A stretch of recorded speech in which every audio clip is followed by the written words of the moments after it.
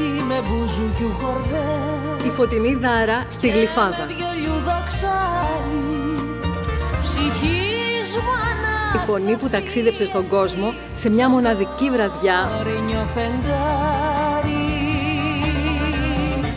Ήσουν φως Φωτεινή στο κορμί δάρα. μου πορφύρα Παρασκευή 2 Σεπτεμβρίου. και έγινες μοίρα Διοργάνωση Δήμος Γλυφάδας.